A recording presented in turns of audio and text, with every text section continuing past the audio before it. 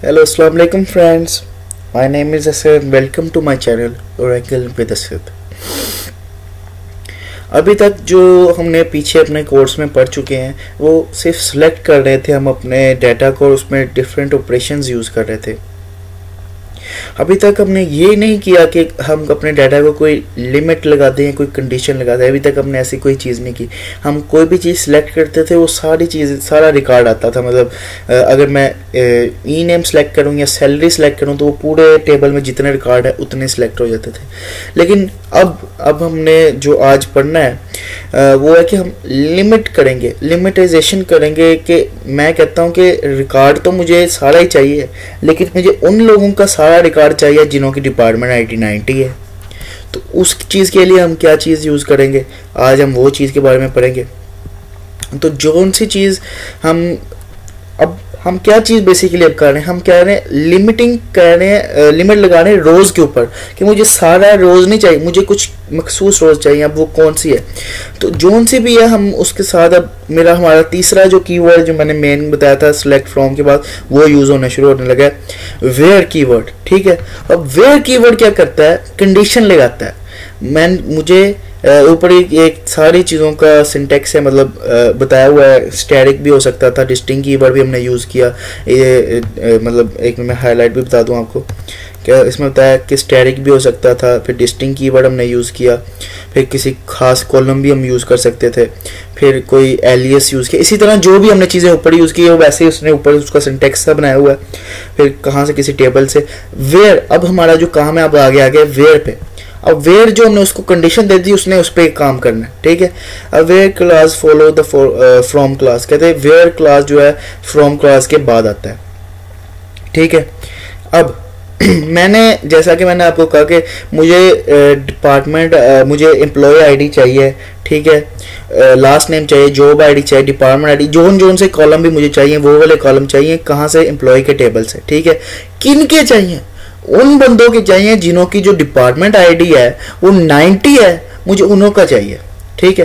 तो अब देखो मुझे सारा रिकॉर्ड नहीं आया। वो वाले कॉलम आए पहली बात तो जोन जोन से मैंने उनको कहा था, ठीक है? और फिर सिर्फ़ वो वाला रिकॉर्ड आया जिन्हों की डिपार्टमेंट आईडी 90 है। उसके अलावा तो कोई रिकॉर्ड नहीं आया। ये क्या हमने उसको क्या कोई लिमिट कर कर दिया where clause use where clause में हम कोई भी किसी भी किस्म की कंडीशन दे सकते हैं। अभी हम सिंपल कर रहे हैं तो हम सिंपल ही कंडीशन दे रहे हैं।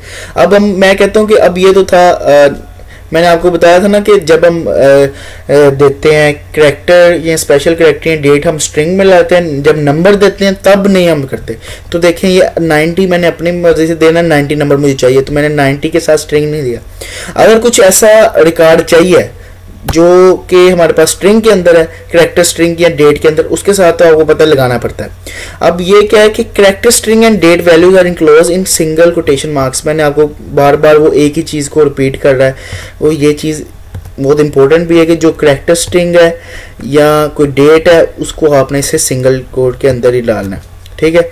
फिर character values are case sensitive and date values are format sensitive वो बता रहा है कि वैसे तो जो आपकी क्यूरीज है, वो के सेंसिटिव नहीं है के सेंसिटिव नहीं है, लेकिन जो करेक्टर वैल्यूज़ है, जो ये जो वैल्यूज़ है, ये जो कंडीशन आपने वेयर में देनी है करेक्टर खुद देने हैं, वो के सेंसिटिव है।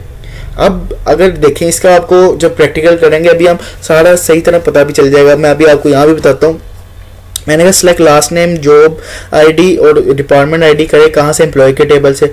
मैंने कहा, जिसका लास्ट नेम हो ना वेलन वो सिलेक्ट करे। अगर तो वेलन के स्पेलिंग वेलन के स्पेलिंग और उसका अगर वो पहला उसका वहाँ पे बढ़ाया है डेटाबेस के अंदर, इधर भी पहला डब्ल्यू है, बाकी अगर बिल्कुल सेम एग्जैक्ट मैच करते हैं ना, तब वेलन का रिकॉर्ड आपके सामने शो होगा। अदरवाइज़ नहीं होगा। ये के इसका, ये ये एक चीज़ के है। उसके लिए बड़े सारे अपर केस और लोअर केस अलग अलग लफज हैं, ठीक है? फॉर्मेट सेंसिटिव ये है कि जो डेट है, वो फॉर्मेट सेंसिटिव है। जब आपने डेट के बारे में कोई कंडीशन देनी है तो वो फॉर्मेट सेंसिटिव है। पहले आने हैं आपके डेज़ डेज़ पहले आने हैं, दूसरे नंबर पे आने हैं आपके मंथ्स तीसरे नंबर में आने हैं आपके ईयर्स ये आपके डेट का फॉर्मेट होना चाहिए। जब आप अगर डेट की कोई कंडीशन दे रहे हैं, इस चीज़ को हम प्रैक्टिकली प्रैक्टिकली कर लेते हैं। सबसे पहले प्रैक्टिकली हम करते हैं नंबर वाले को। अब मैं कंडीशन दे देता हूँ कि मुझे सारा रिकॉर्ड चाहिए। अब सारा रिकॉर्ड चाहिए तो आपको पता है, सारे के लिए हम स्टैटिक का कीवर्ड यूज़ करते हैं। मुझे सारा रिकॉर्ड चाहिए कहाँ से? एम्प के टेबल से। ठीक है? ठीक है। अब मैं साथ कंडीशन दे रहा हूँ। एम्प के टेबल से तो चाहिए लेकिन जो उसका आ, होनी चाहिए ना क्या नाम है उसका डेप्ट नंबर उसका डेप्ट नंबर वो होना चाहिए थर्टी ठीक है? अब जो रिकॉर्ड आया मेरे पास सिर्फ़ ये उन एम्प्लॉयज़ का है जिनों का जो डेप्ट नंबर है वो थर्टी है। इसके अलावा तो नहीं आया आपके सामने ही है। मैं कोई स्पेसिफिक कॉलम भी ले सकता था कि मुझे ई नेम जॉब चाहिए जिनों का डेप्ट नंबर थर्टी है। अब मैं एक और अब दूसरी जो स्ट्रिंग वाली एग्जांपल है वो भी लेके आपको दिखा देता हूँ।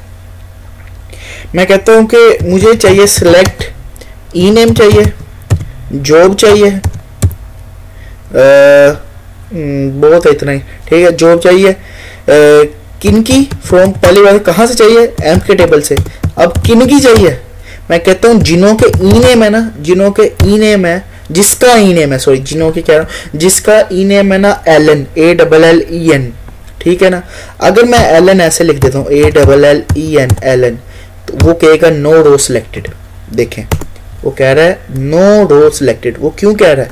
ये मेरे एल एन की स्पेलिंग देखें, और यहाँ पे एल एन की स्पेलिंग देखें।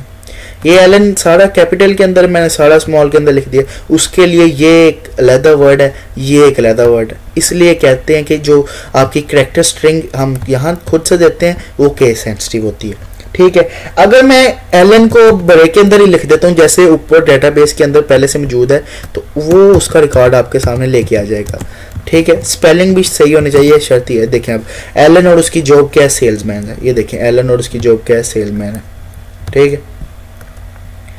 ये आपके सामने शो हो गया इसका कार्ड इसी तरह आपने कोई चीज़ देखनी है, बल्कि डेट वाइज भी मैं आपको सर्च अगर करना है, आपने सिलेक्ट मुझे चाहिए, क्या ई नेम चाहिए?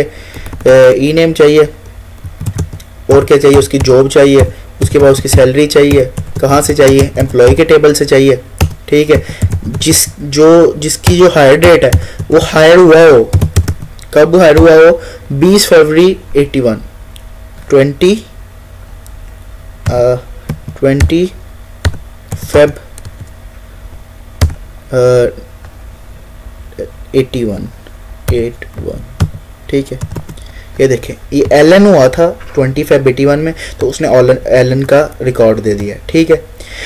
ये भी आपके पास, ये भी चीज़ ये देख लें, ये डेट फॉर्मेट इस तरह आपका होना चाहिए। ये भी आप डेट सेंसिटिव भी है, डेट फॉर्मेट सेंसिटिव। पहले दिन आने चाहिए, बाद में उसका जो महीने का नाम है, पहले तीन वर्ड आने चाहिए उसके, और फिर उसके बाद उसका साल का। ठीक है, ये क्या था आपका वेयर कीवर्ड इसमें मैंने आपको बताया कि ये क्या होता है। ये किस तरह यूज़ करते हैं? अब हम वेयर के आगे कंडीशन किस किस तरह की क्या क्या कंडीशन के कौन से ऑपरेटर यूज़ कर सकते हैं वो हम आगे की वीडियोस में देखेंगे। तो आज के लिए अल्लाह हाफिज़। प्लीज़ मे, मेरी वीडियो को लाइक कीजिए। कमेंट में कोई भी चीज़ आपने पूछनी तो पूछ सकते हैं। शेयर कीजिए और प्लीज़ चैनल को सब्सक्राइब कीजिए।